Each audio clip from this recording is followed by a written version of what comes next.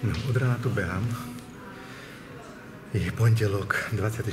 apríl, ja už neviem, kde mi hlava stojí. Noci som docestoval od rána, 5. som stával, som v teréne znova. Som bol, teraz ráno som bol v spoločnosti HB Rivis aj v GNT. HB Rivis, ktorá stáva Twin City a celé to oblasť, oblasti nízkych hnív, tam, kde bola tá bývalá fabrika Apolka. Tak som sa bol pozrieť že aby mi ukázali, kde ten odpad vozia, aby som si mohol dobrať vzorky s ich súhlasom. Hej, aby nehovorili, že chodím tam jak pod hud, čo bude asi treba urobiť, aby mi ukázali povolenia, hej, a že či sa mi vedia, kde ten odpad končí. Tak prišiel najprv tam so mnou rozprával nejaký človek, že on to odkáže e, šéfka, zatiaľ mi ešte nevolala, musím povedať, lebo som nestial, že či náhodou už nevolala. No a čo je podstatné, Hovorím, ako si ako vyvoláte, si nepovedomí, že medveď. Hovorím, a nesi priateľ pani Macíkovej? že to je nepodstatné. A potom už som sa to uchytil, ako je to je naozaj medveď, druh pani Macíkovej, šéf marketingového oddelenia HB Rivis. Hej. Macíková, šéfka tlačového oddelenia tam, hovorky na finančnej správy. Tak tu sa ukazuje, ako je to všetko poprepájané. Uvidíte krásne videjko. Hej. Čiže HB najväčší developer, miliardár, zároveň stal Kiskovú dceru, teraz zamestnal životného druha Macíkovej, pána Medvedia, hej. A podľa mňa nie je jediný, hej, kto pre Haberivis robí. On takto si bere všetkých ľudí z štátnej správy a on si ich zamestnáva takí, čo majú dosah, aby vnosili informácie alebo zabezpečovali zákazky. Hej. Takto vznikajú slovenskí miliardári asi. No to sú všetko v otázkach. Zistíme ďalej, to bude videjko.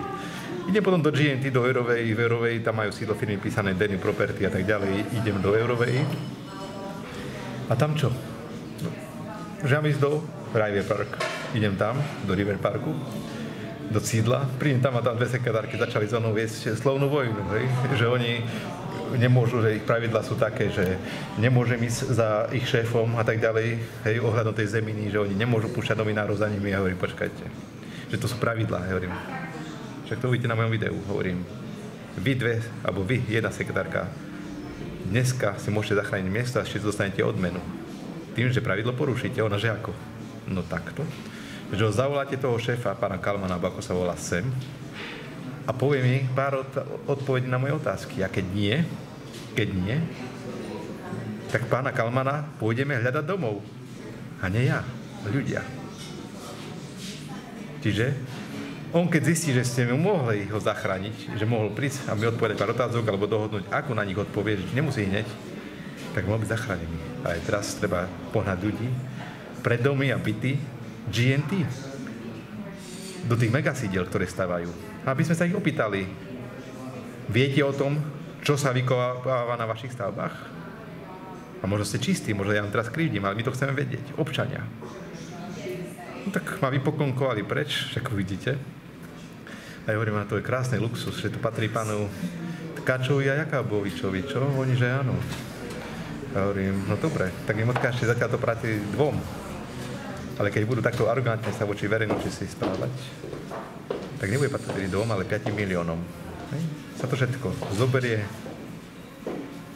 a rozdá do štátu. Z dvoch majiteľov vznikne 5 miliónov majiteľov. A to len preto, že arogantne sa správajú k verejnosti, nie ku mňa. Som prišiel ako zástupca občanov. Takže ak chcete pokračovať, pán Tkáč, Kalman, Jakobovič, Haber, Ivis, Chrenko, kľudne takto pokračujte. Či so mnou, či s inými. Po dnešnom dní máme plné legitímne právo vás si hľadať do vašich domov, lebo vy ste osobami verejného záujmu. Odpad, ktorý tu vzniká, sa dotýka na všetkých a my sa vás pôjdeme pýtať, keď nechcete odpovedať na mieste, kde pracujete, budete odpovedať tam, kde bývate. To je všetko. Takže tak. A idem ďalej, lebo idem na disciplinárku s Arabinom. Hej. Ja už dúfam, že sa raz vyspím z toho všetkého. Takže tak.